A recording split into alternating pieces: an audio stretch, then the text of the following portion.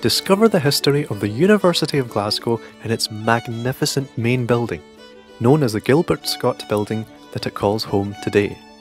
Regular weekly tours run most days of the week and last approximately one hour.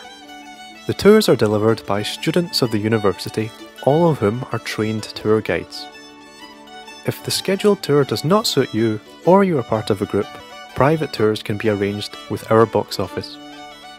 The tour focuses on the history of the university itself, which was founded in 1451, making it the fourth oldest university in Britain.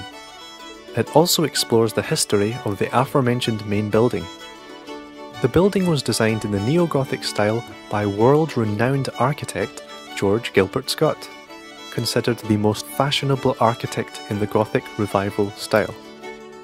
While the university's main campus was relocated, from the northeast of the city to the west end, parts of the old college still remain. The architectural legacy of the old college serves as a reminder that the university has long served the city of Glasgow and beyond as a historic seat of learning.